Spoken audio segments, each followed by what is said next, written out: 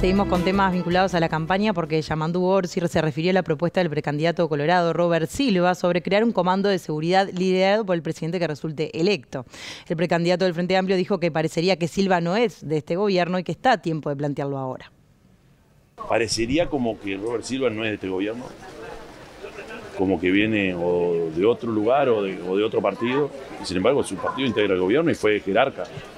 Es- está a tiempo de plantearlo ahora y resolverlo ahora. Y que Álvaro Delgado diga que eh, su eje principal va a ser la seguridad, siendo que también fue parte de este gobierno. Y es parte de lo mismo, ¿no? Eh, para, un, para alguien que está en el gobierno, en un lugar tan central como el que se ha estado, eh, reconozco que es difícil hacer planteo distinto cuando sos protagonista. Entonces, creo que en el fondo lo que hay es un reconocimiento a algunos fracasos. También dijo Álvaro Delgado eh, que el camino es una guerra a las drogas. ¿Ese es el camino? La palabra guerra me hace un ruido bárbaro. Y por lo general, países muy potentes, muy potentes, en esa guerra les ha ido mal. Que deja para nosotros. Yo creo que lo que hay que hacer sí es una lucha frontal y dura con los problemas de nuestra infancia, con la violencia en la gurizada, con la falta de oportunidades. Y desde ahí lo que hace es secarle un poco el río a, ese, a esa forma de, o ese negocio tan generalizado como es el narcotráfico. Vamos a otros temas. El plebiscito que impulsa el PIT-CNT. Bueno, hoy el presidente del Frente Amplio, Fernando Pereira, dijo que tiene muchos argumentos en contra de este plebiscito que está impulsando el PIT-CNT para derogar las AFAPs, por ejemplo. En entrevista en Radio Universal, el presidente del Frente Amplio dijo que lo más probable es que no firme. No es para eh, modificar la reforma. Coloca tres aspectos en Bueno, la. Constitución. Sí, pero no tiene que nada que ver con la modificación lo- de la reforma. que Una tiene que ver con eliminar la SAFAP para tratarla en términos generales, ¿no? ¿Vos firmás que es la peor parte, de, de- según los especialistas, de lo que Una supone tiene este que ver con la edad y Mm. otra tiene que ver con la jubilación Sí. mínima. Sí, sí, sí, En todas uno podría ponerse de acuerdo, en una parte, en todas o en todos, pero no es una decisión que tomó el Frente Amplio. Entonces, lo que... No, por eso le pregunto hasta qué punto le preocupa y si, y si tal vez va a haber un llamado a, no sé, en caso de que se apruebe, eh, Sí, que no- salga, a no votarlo. a, a pensarlo cuando menos, o sería una traición para el PIT-CNT. No, hay que ir, no hay que ir más rápido que la música, ¿no? ¿Vos firmaste? Primero tienen que llegar las firmas, no, todavía no. ¿Y vas a firmar? Bueno, lo estoy meditando como cualquier plebiscito que haya en el Uruguay. Como dije, mi camino hubiera sido otro, que fue el que defendí mientras fui dirigente sindical, que es el que la mejor transformación de la seguridad social es hija de los diálogos y es hija de los diálogos como se hizo la reforma en 2008. Pero bueno, hay una parte de, de que el pueblo decida, de que a mí siempre me pareció trascendente. Y si hay argumentos sólidos para aprobar, el pueblo decidirá de una manera u otra. Y si hay argumentos eh, del otro lado, bueno, el pueblo laudará, pero... pero Eh, argumento insisto ya tenés, el- lo que falta es que te acerquen la papeleta para firmar y decidas, Fernando. No, no, no, no, la Ya- ya- papeleta me la han acercado mil veces. Yo soy racionalista, Ah. firmo si estoy convencido, tengo muchos argumentos para no firmar y tengo algunos para firmar. Eh, si me apurás hoy, lo más probable es que no firme. Volvemos a filas del Partido Nacional porque el senador y precandidato Jorge Gandini afirmó que él le puede ganar al Frente Amplio. En su discurso también habló de todos los partidos políticos y recordó la figura de Wilson Ferreira Aldunate. A mí no me hagan cuentos. Hay que enfrentar a la izquierda y no hay nada que me guste más porque soy muy blanco y muy wilsonista. Nadie más progresista que Wilson. Lo felicitaban y lo abrazaron mucho, pero lo combatió la izquierda porque se les quedaba con las banderas, desde lo nacionalista. Y yo creo que podemos dar esa batalla. Y yo creo, estoy convencido que puedo. Los tengo que invitar a todos ustedes a que cada uno pueda y cada uno lo haga en donde le toca. Son actos de responsabilidad. Pero sepan que yo puedo ir cambiando en la campaña para involucrar cada vez a más. Pero también sepan que hay un momento en que nosotros vamos a convocar a la rebeldía de las bases, a que cada uno ejerza esa libertad responsable y él, ella, ante sí mismo, resuelvan quién es mejor para ganarle a Frente Amplio y conducir este país.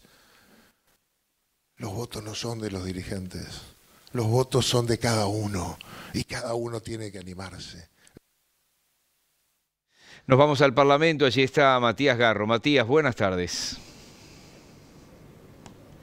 ¿Qué tal? Muy buenas tardes, compañeros. Desde las 14 horas, el ministro de Defensa Nacional, Javier García, compareció ante la Comisión de Defensa del Senado. Estuvo hasta unos minutos nada más, hace unos minutos nada más aquí el ministro y pasó un hecho particular. Varios temas habían para discutir con el jerarca, pero faltando eh, aproximadamente una hora para que saliera el ministro ya Luis Alberto Heber, ex ministro del Interior, actualmente senador por el Partido Nacional, adelantaba en sus redes sociales que el ministro García en comisión justamente había informado que una investigación confirmó que en el gobierno del Frente Amplio se pagó honorarios privados a un abogado que defendía a un militar en retiro, que se encontraba en el exterior por violación a los derechos humanos en dictadura. Heber decía, no sabía el ministro y el presidente de la época. Esto es lo que decía, lo que escribía en sus redes sociales Luis Alberto Heber una hora antes de que saliera el ministro de Defensa Nacional, cuando se dio justamente la salida del ministro ministro confirmó en rueda de prensa que se había finalizado una investigación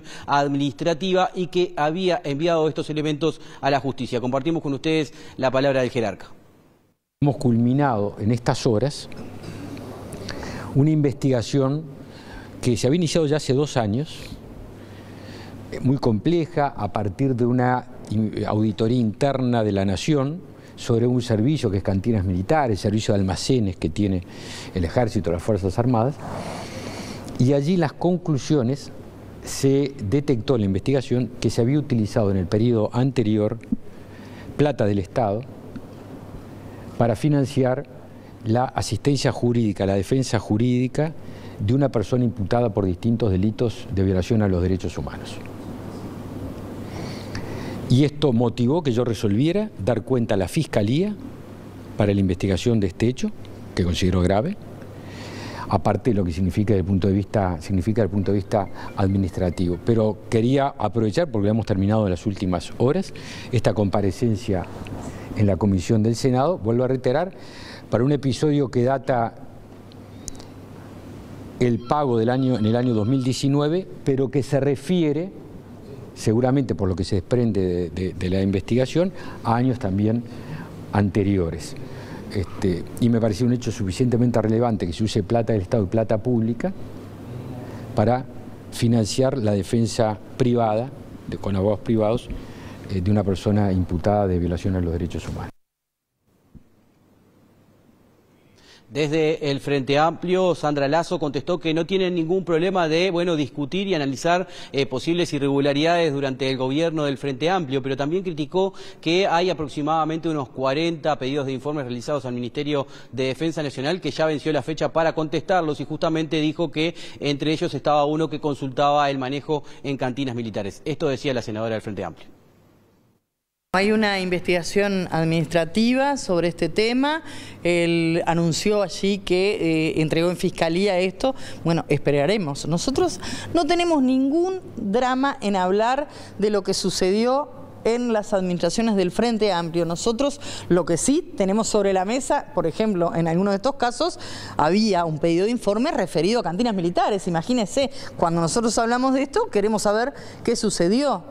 Aquí hay temas como la defensa, como temas que tienen que ver con eh, cuestiones que son de mucha sensibilidad, que nosotros no tenemos el menor inconveniente de saber qué pasó, saber cómo se actuó y seguir para adelante. Justamente, el ministro hablaba de que estamos en periodo electoral y él siente que fue interpelado por eso. Bueno, justamente hay que dar señales claras de lo que hay que eh, hacer y de lo que no hay que mirar hacia el costado. No tenemos ningún problema en dar las respuestas que haya que dar, pero las respuestas hoy las tienen que dar quienes nos gobiernan. Y quienes nos gobiernan es esta administración.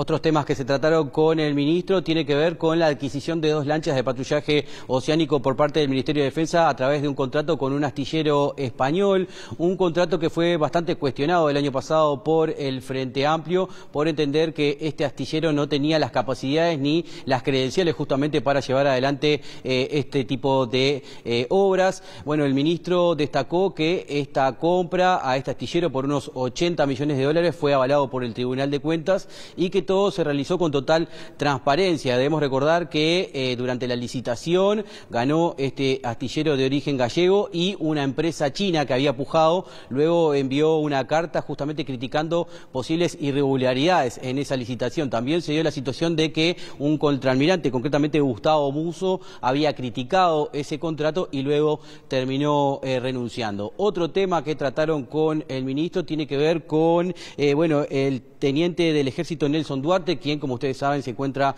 con arresto a rigor por 30 días por haber brindado una entrevista en Desayunos Informales en Canal 12, donde allí, bueno, denunció varias irregularidades en el ejército. El ministro aclaró que, por un lado, el arresto a rigor está bien ejecutado porque, bueno, todos los militares saben bien que se rigen bajo las leyes del ejército y que no están, no pueden brindar, bueno, declaraciones a la prensa sin tener la autorización de sus jerarcas. Y por otra parte, en lo que tiene que ver con esas denuncias de este jerarca del ejército, dijo que, eh, bueno, fueron denuncias de hace aproximadamente unos 10 años y que esas denuncias se habían realizado durante el gobierno del Frente Amplio, quien fue, bueno, quienes en muchos casos archivaron esas denuncias. El ministro decía, bueno, es la primera vez en que se llama a un ministro para consultarle lo que hizo eh, un jerarca de otro gobierno. Por otra parte, también se le consultó al ministro respecto a esta mujer que, eh, bueno, lidera la parte jurídica del Ministerio de Defensa, que, bueno, fue imputada por eh, trata de personas en Artigas. El ministro volvió a reiterar que no se trata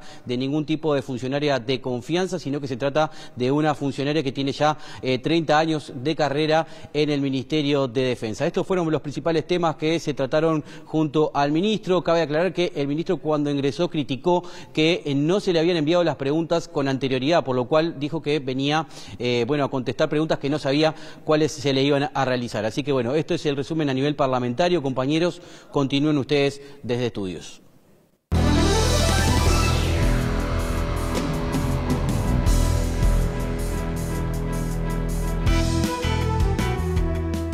La jefatura de policía de Artigas explicó que la investigación en el caso de trata de personas venezolanas en el departamento avanzó rápido porque las pruebas eran contundentes.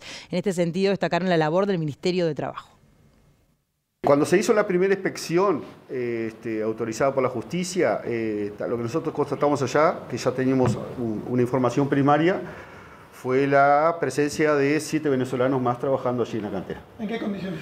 Y estaban trabajando este, en sectores este, capaz que las condiciones no eran malas. Eh, eh, si me permite, complemento la información que dice el comisario y, es contundente el informe del Ministerio de Trabajo. ¿no? El Ministerio de Trabajo hace un desarrollo muy pormenorizado de las condiciones en las cuales estaban. Este, elemento este que fue sumado a la carpeta investigativa y fue este, puesta en conocimiento de la señora fiscal interviniente.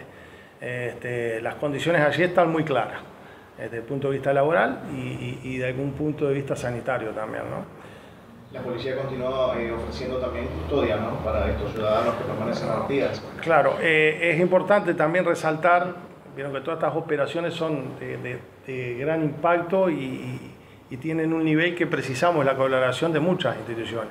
Y acá hay que reconocer la participación de la Intendencia en cuanto al alojamiento de las personas, también del MIDES aportando alimentación, salud pública en la atención sanitaria de estas personas y algún otro organismo que me puede estar olvidando, ¿no? Este, por ejemplo, la unidad de víctimas de la Fiscalía, con su abordaje técnico, psicológico, también fue importante para la contención de, estos, de estas personas venezolanas y de estos ciudadanos venezolanos.